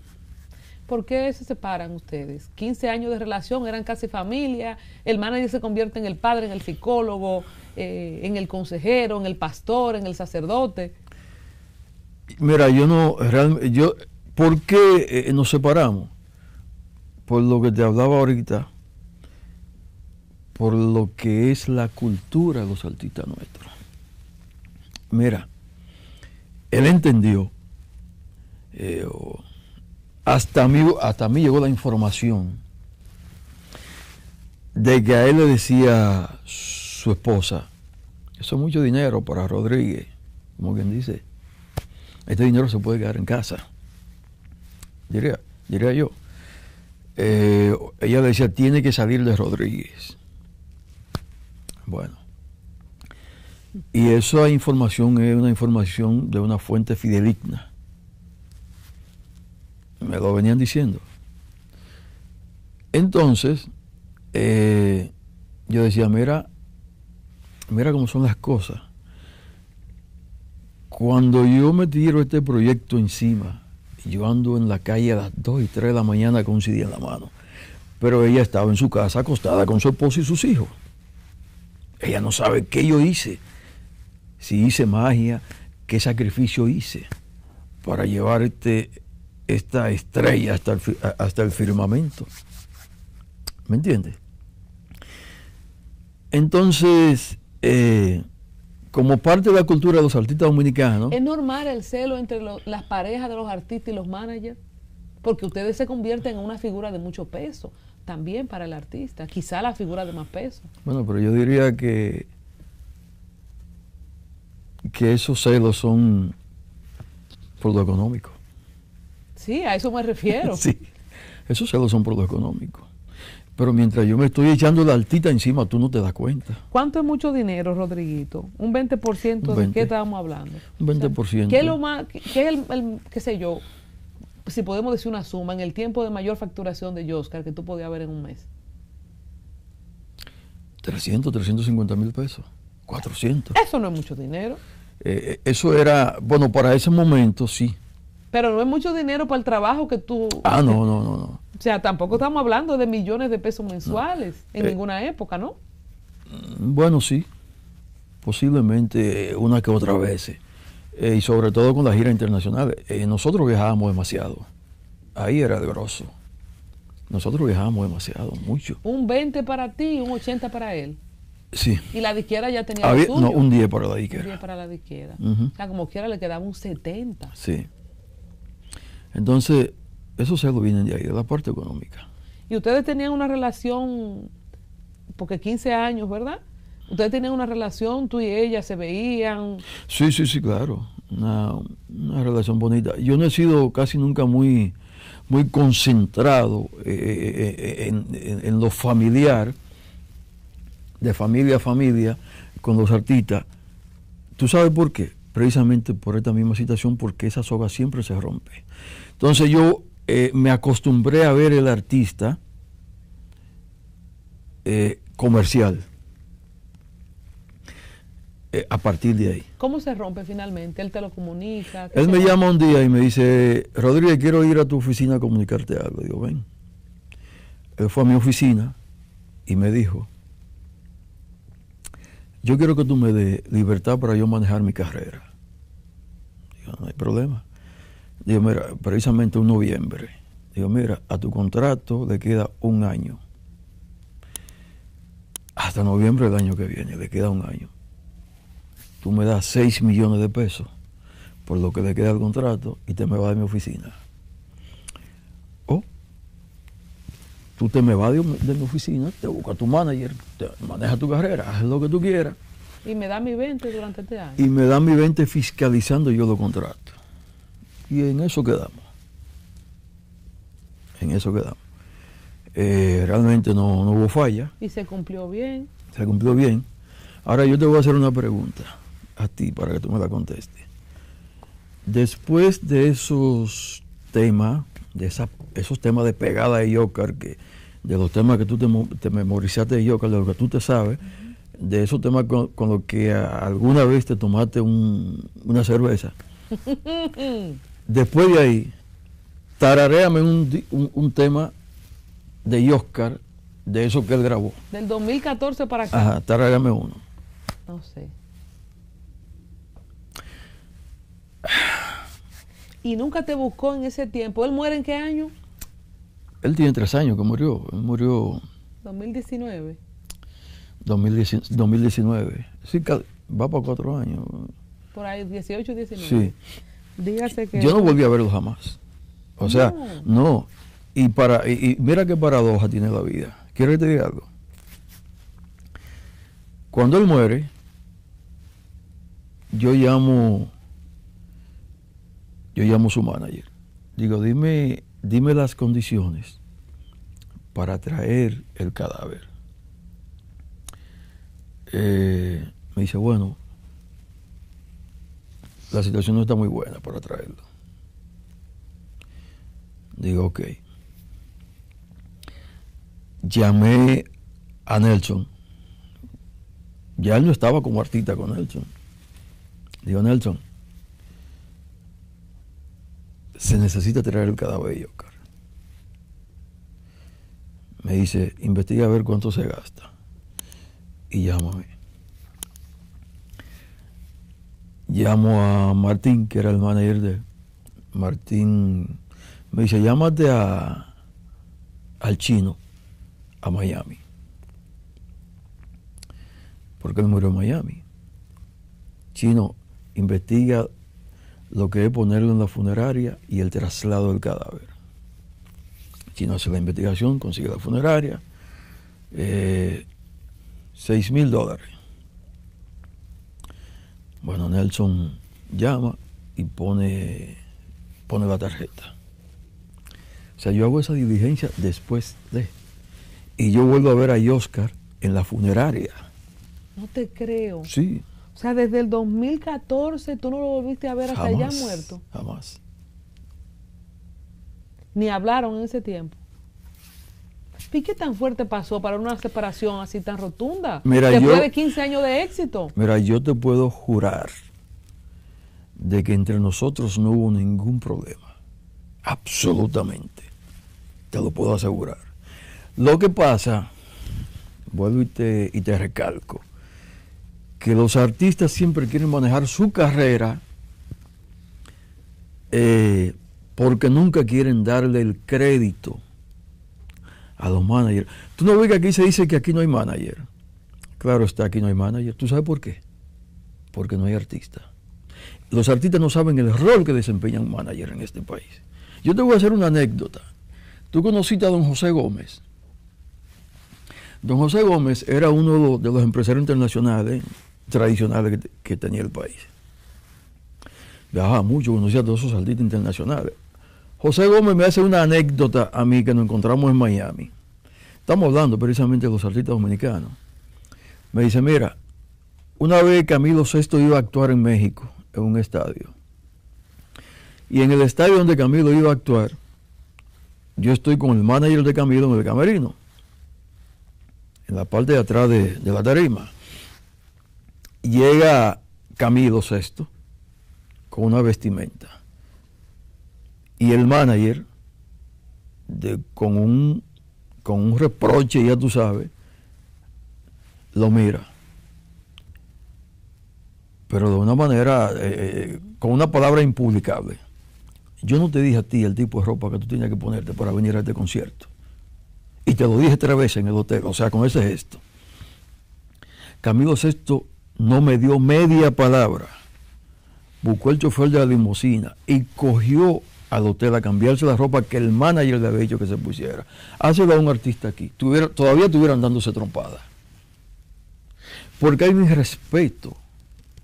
No hay una, no hay una, no hay una, una, una cultura, una Pero educación. también, Rodriguito, no son los artistas como muy ingratos, porque es como la constante de quien descubre el artista, le invierte, lo hace, después que ellos mismos son, ya no te necesito, eh, si pueden salvarse o librarse, si no tienen un contrato, le dan la pata.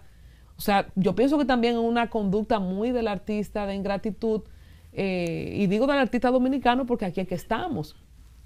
Problema de lo que estoy hablando. Eso- Porque cuando ellos están empezando, te dan, ven, fírmame, tú, te doy eres la el, vida. tú eres el mejor, tú eres su papá. Pero es un problema de educación. ¿Cómo manejaste en esos años? Porque eres un ser humano, te dolió, lo sufriste, quedaste con tu dinero, sacaste tu dinero, pero tú eras como un hijo. O sea, ¿cómo fue para ti esa- esos años de ausencia? Bueno, yo entendí, eh, como conocedor de la idiosincrasia humana, entendí que nada es para siempre, porque tú tienes un novio, hay mucho amor, un, amor recíproco, supuestamente increíble, y ese amor acaba, o ese amor llega un momento en que usted tiene que separarse. Tus hijos tú los tienes y llega un momento en que se van de la casa y tú tienes que aceptarlo. Entonces, preparado con esa situación y yo conociendo la idiosincrasia de los artistas de este país, me monté en esa ola y no me hizo tanto efecto. No me hizo tanto efecto realmente. Y la muerte como tal te la esperaba. No, no, no, no, no. Yo, la muerte para mí fue, ¿qué te explico? Algo de esto, totalmente detonante para mí. Totalmente. Para todos. Sí. Eh, porque eh, ¿en qué tengo eh, un cargo de conciencia? No mío, no un cargo de conciencia hacia mí.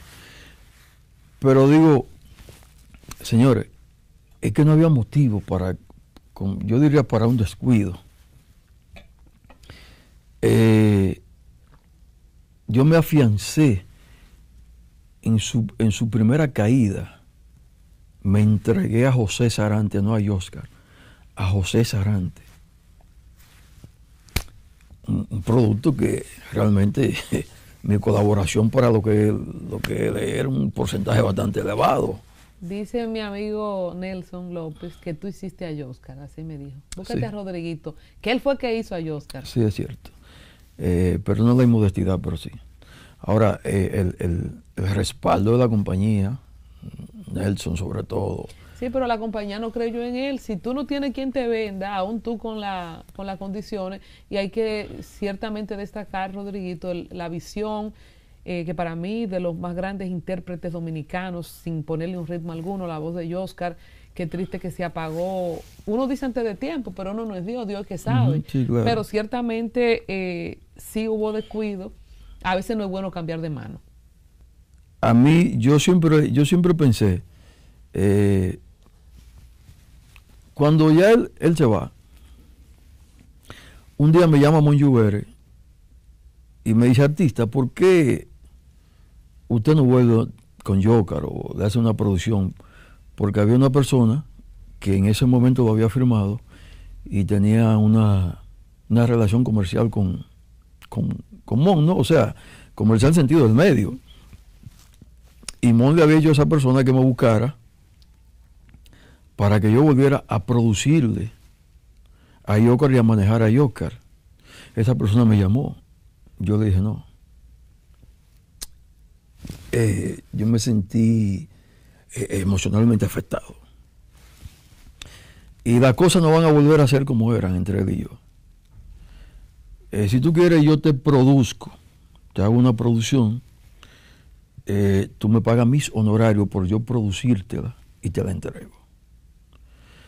Eh, él quedó a llamarme, no llegamos a ningún acuerdo, no volví a saber más de, esa persona. Y eh, realmente a mí me, me chocó mucho porque Joker tenía demasiado talento. Es más, cuando Joker, en esos días que Joker murió, yo tenía un tema para dárselo a Joker. Después yo iba, yo iba a llamar a su manager para decirle, mira, tengo un tema para dárselo, para que lo grabe. Y ese tema lo va a volver a catapultar de nuevo. Ya él, eh, eso fue en esos días también que él había tenido un par de recaídas por ahí, por Miami, Nueva York, antes de la enfermedad de, de ir a cama mortal. Y yo tenía un tema para dárselo. No se pudo. Bueno, No te pudiste despedir, pero hiciste la gestión de... sí. Lo honraste hasta el final. Bueno, muchas cosas que decir. Antes de Oscar Sarante tenías tu historia, eh, cuál es el primer grupo, el primer artista y, y cómo te involucras en el mundo de manejar artistas. Mira, yo llego a este medio, a esta profesión, porque esto es una profesión empírica. Yo llego, comienzo con un señor llamado Ciano Arias, muy jovencito, yo como 18 años. Ciano Arias era, tenía un conjunto típico. Entonces había un primo mío que tocaba bajo con Ciano Arias. Entonces yo llego donde Ciano como bad boy. Y como a los tres meses, yo siempre interesado en, en lo que significa el negocio, e- e- este, este negocio o esta profesión. Yo le llamo profesión empírica. Comencé a los tres meses ya yo mismo a, a, buscar baile, a vender baile con Ciano Arias. Y luego dejé ese bad boy y me quedé como vendedor de, de los bailes de Ciano Arias. En esa época eh, aquí no se usaba la palabra manager, aquí se usaba la palabra promotor o gerente de venta de una agrupación. La palabra manager aquí era eh, eh, para esa época no se usaba. ¿Cuándo se introduce el concepto de manager o manejador? Eh, ya eso se moderniza de los 80 y tanto para adelante, o casi a final de los 80. Eh, es que entonces, ¿De qué año estamos hablando cuando trabajabas con Arias? 78, yo tenía 18 años. Aquí había Bartolito, el, el, el sonero, Bartolito de los Bravos del Son. Él falleció hace como 4 o 5 años, falleció Bartolito. Bartolito tenía una agrupación que se llamaba la Orquesta Anacruza. Era una orquesta de merengue.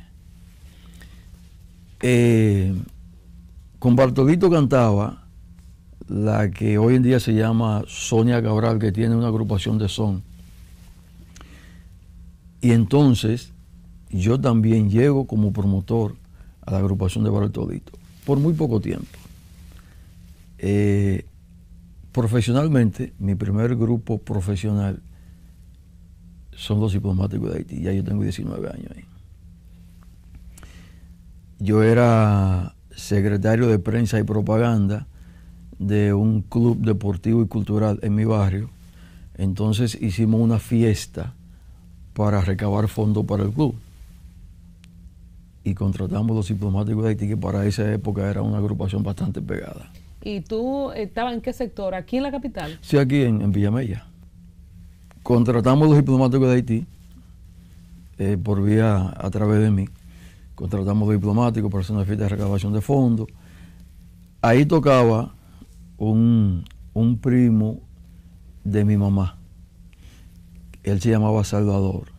Él tocó con Cuco y con los diplomáticos, una serie de grupos más. Él era conguero. Él entendió que yo tenía, que yo era muy hábil, muy activo, y esa noche le dijo al director de agrupación, mira, vamos a citar a este muchacho para que vaya a la oficina el lunes. Esa fiesta fue un sábado. Y se reúna con nosotros para que sea el promotor de nosotros. Eso era el cantante Tony Sugar, de los diplomáticos de Haití. Entonces, eh, Tony Sugar me llama y me dice, mira muchachito, el lunes vete a la oficina para que hablemos. Bueno, el lunes me aparecí en la oficina de él y entonces me contratan, me dejan como promotor de la agrupación. ¿Y esa banda era una banda de haitianos en República Dominicana o era una banda haitiana que venía aquí? No, no, ellos estaban radicados aquí. Eh, llegaron aquí en los años 60 y pico, me imagino. ¿Y qué tocaban? Música frontillana. Eh, pero ellos un ritmo muy, muy contagioso y muy pegajoso. Ellos se pegaron de manera, bueno, de manera increíble se pegaron ellos en este país. Eran, solamente habían dos dominicanos en esa agrupación. Después el resto eran todos de Haití. Pero estaban radicados acá. Y no queda nadie. de- Me gustaría conocer a alguien de esa banda. Bueno, eh, Salvador, que era el primo de mi, de mi mamá, falleció hace como tres años. Y Tony Sugar, que era el cantante y el director, porque lo- los diplomáticos tuvieron dos etapas. Primero con Emilio Petiote, ellos hacen un, en el 77, van a Estados Unidos, 76 por ahí. Emilio y, uno, y el cantante principal de esa época se queda en Estados Unidos. Entonces, ellos estaban firmados con Radamé Aracena, Radio Borachita. Entonces, Radamé busca a Tony Sugar, ¿me entiendes? Lo deja como cantante y director de la banda y, y Radamé era el empresario eh, discográfico de, de la agrupación aquí. Entonces Tony Sugar es quien sigue al mando de, de los diplomáticos y ahí es cuando yo en esa segunda etapa entro. Entonces, música frontillana, que eh, algo parecido al merengue. Sí, un merengue frontillano hacían ellos. Michelle El Bonón participó en esa agrupación. Bueno, Cuando Michelle participó en esa agrupación, yo no estaba, yo entro después. Pero O sea que Michelle tiene sus añitos también, aunque un comeaño, ¿eh? de lo que yo sé, de lo que yo sí sé es que Michelle estuvo como cantante de la agrupación Tabú Combo. Tabú Combo era una agrupación también haitiana, pero universal, una, una- una agrupación eh, pegada a nivel internacional. Cuando yo entro con los diplomáticos, eh, nosotros teníamos la oficina en Villa Consuelo, en, en la, no me acuerdo cómo se llama esa calle, casi esquina Tunti. Entonces, eh, nosotros solíamos ponernos en la acera, eh, eso de las 3 de la tarde, 4 de la tarde, que hacía un fresco increíble, una sombra muy, muy, satisfactoria. Cheche Abreu tenía su, él, era de Mano Guayabo. Y Cheche Abreu siempre iba a ver a su mamá a Mano Guayabo. Bueno, cuando eso él tenía el famoso carro La Negra Pola, ese Lincoln de aquella época, un carro de alta gama para esa época, ya tú sabes. Cheche siempre solía mirar así para la oficina de los diplomáticos. Un día me alcanza a ver y se para en la Tunti y me pita y me hace señas. Ven acá, morenito. Y cojo por allá. Y me dice, tú eres el promotor de los diplomáticos de Haití. Digo, yo sí. Pero tú puedes hacer los trabajos con las agrupaciones. Yo te necesito para que tú seas el road manager de Cheche Abreu, para que trabajes con mi hermano Pablo. Pablo era el manager de Cheche Abreu. De. Eh, me dijo, ven mañana a la oficina en la mañana. Bueno, fui de Cheche Abreu en la mañana y entonces soy promotor de los diplomáticos y road manager de Cheche Abreu. Pero aquí había una agrupación también llamada La Media Naranja, una agrupación femenina, que era de Eduardo Rodríguez. Eduardo era el dueño de Media Naranja y dueño de un grupo juvenil que había que se llamaba Café Colao. Eh, y era el manager de Fernando Villalona a la vez. Un día va Eduardo a la oficina y me dice, yo quiero que tú trabajes conmigo para entregarte media naranja y café colado. Bueno, yo acepto el trabajo de Eduardo, ¿me entiendes? Y también me voy con Eduardo. O sea, eh, yo, yo estaba trabajando en dos grupos, ¿me entiendes? Eso fue como el 85. En el 86 vuelvo otra vez con Cheche y dejo Media Naranja. Pero después volví a Media Naranja otra vez. Entonces, eh, Eduardo y yo hasta el, hasta el día de hoy tenemos una relación muy compenetrada. Somos hermanos, Eduardo y yo. Entonces, esos fueron los dos grupos profesionales, o los tres grupos profesionales con los que yo comencé a trabajar. Y luego de ahí, ¿cuál es el próximo paso? Estamos hablando de merengue, ¿cómo llegas a la bachata? Mira, me- déjame decirte lo, del merengue para decirte cómo llego a la bachata. Cuando Felicumbé se va de Aníbal Bravo, eh, en el 86 también tenemos, ¿tú te acuerdas de Pedrito Feli, el difunto Pedrito Feli, que era el que fue quien organizó los, los DJ de este país? Pedrito Fe, eh, yo llego, cuando estoy con Cheche, Pedrito Feli y yo nos reunimos y me dice, vamos a hacer una, una compañía.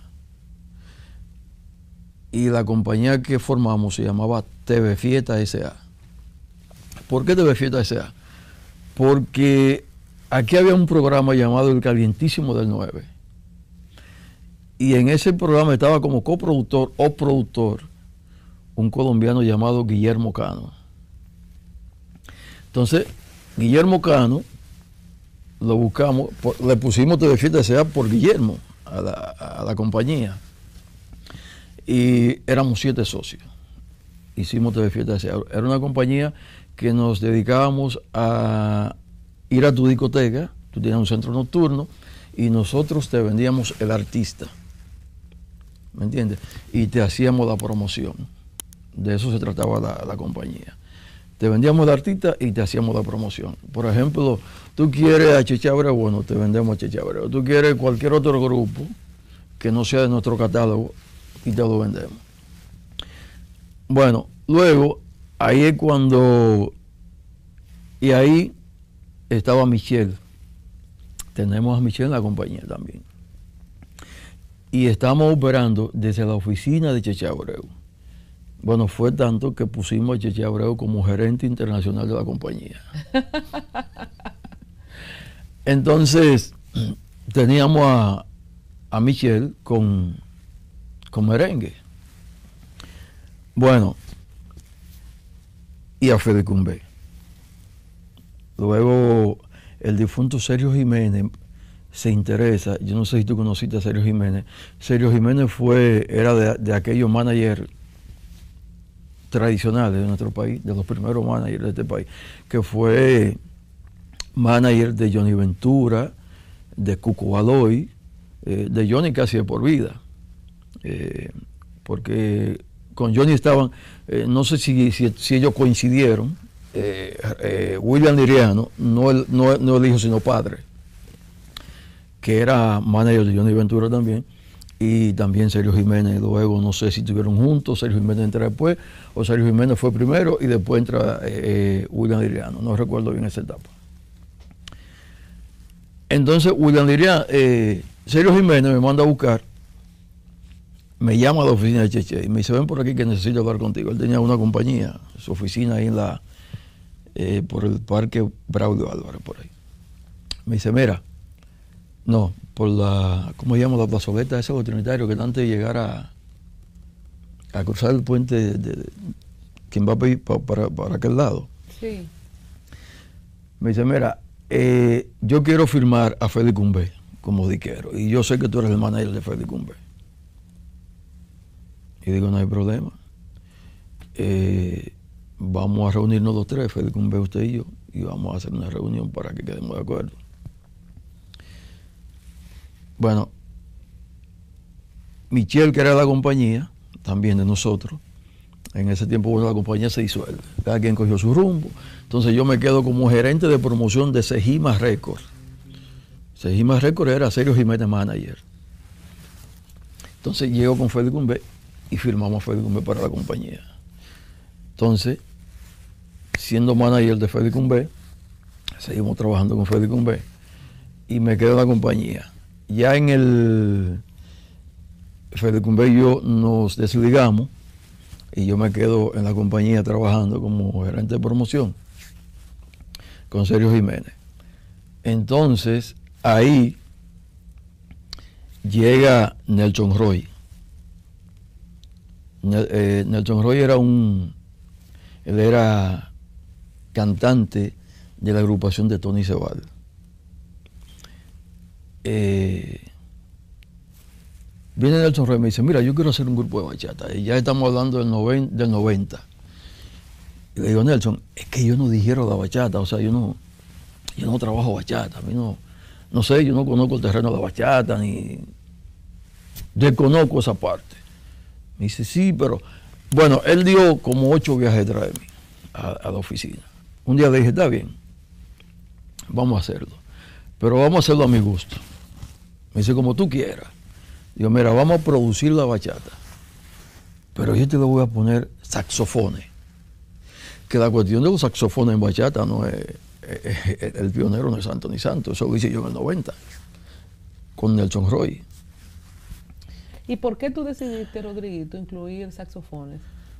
¿Influencia de la música frantillana que ya tuviste o qué? No, yo te diría, yo te diría que era por buscarle una nueva vertiente a lo que era la guitarrita de la bachata. Porque tenían saxofones, esa música que hacían ellos, los diplomáticos, ¿no? Sí, no, era, era en sobre todo era en base a saxofón. Sí.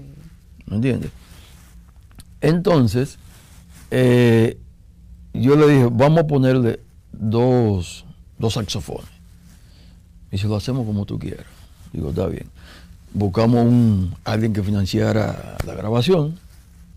Eh, entonces le, yo- le hicimos dos producciones de bachata, pero con saxofones. Eso fue para yo diferenciar lo que era la bachata tradicional, porque como que no me, como que yo no la digería. Y esa fue la razón por la que la hicimos con saxofones.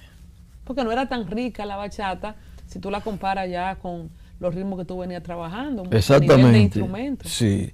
Entonces yo la notaba como tan vacía. Sí. Y esa fue la razón por la que yo entendí que... ¿Qué pasó con ese proyecto? ¿Surtió efecto? Porque a Sí. veces los pioneros no son los que cosechan. ¿Qué pasó?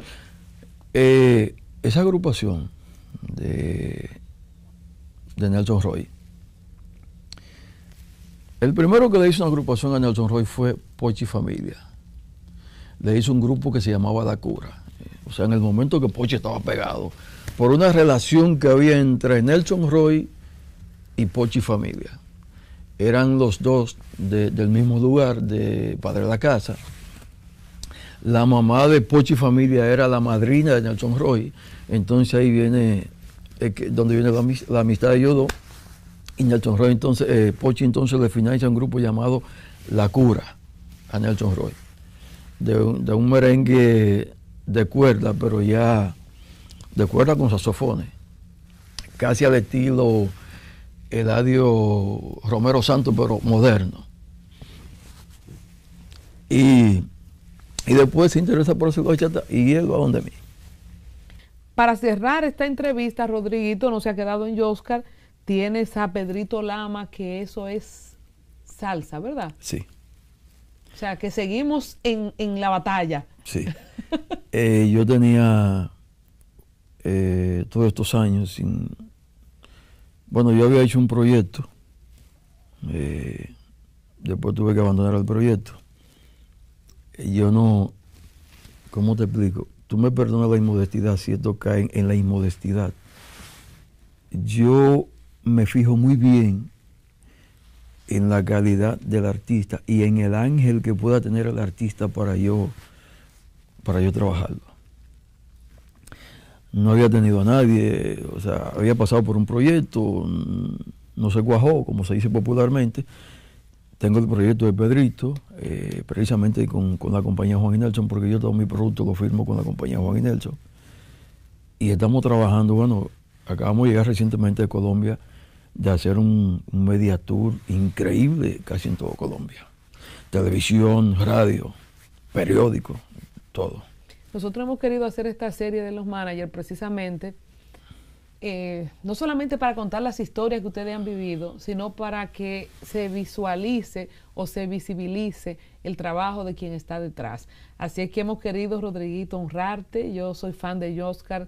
Qué alegría poder detallar eh, cómo se eligieron los temas, que, se puede, que pueda eh, esto motivar a otros proyectos y ojalá que los artistas aprendan a honrar a los managers al inicio, en el medio y hasta el final, porque yo pienso que vale totalmente la pena. Tener a alguien que te cuide, eso no tiene precio. Yo creo, yo lo que es, de lo que sí estoy seguro y le exhorto a los managers de este país que se den a respetar. Porque llega un momento en el que los artistas lo ponen de pasagua y pasatoalla. Que se den a respetar. Y te voy a decir algo. Como aquí se dice que no hay manager, muchos medios, una, una gran cantidad de medios, hacen eco de eso. Desde que, sur- desde que surgió eh, la primera vez por alguien, se dice que no hay manager. Los mejores managers están en este país. ¿Tú sabes por qué? Porque los managers de este país no trabajan con dinero. Cuando creen un artista se lanzan a la calle hasta que aparezca alguien que pueda financiar el proyecto. Pero en tu casa, en tu casa, tú con el talento que tienes, en tu propia casa te dicen, mira musiquito, mira cantantico, que son los primeros que desconfían de tu talento. Y cuando tú llegas donde alguien que tiene la visión y cree en ti, se lanza a la calle contigo porque cree en ti.